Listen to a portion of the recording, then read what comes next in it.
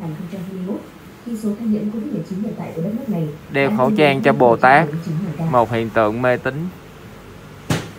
Mà đồ Bồ Tát đeo khẩu trang đẹp thật chứ. Bồ Tát mà cũng đeo khẩu trang nữa. Đây là đại dịch cấm hôn. Ông thích hôn không? đại dịch này là cấm mọi người hôn nhau. Anh em mình thử nhau cái không. Ông định lấy đi nụ hôn của tình yêu chân thật của tôi à đại dịch cấm hôn nha mọi người. Chứ không phải đại dịch cưỡng hôn. Cậu có gì là tôi quay lại liền.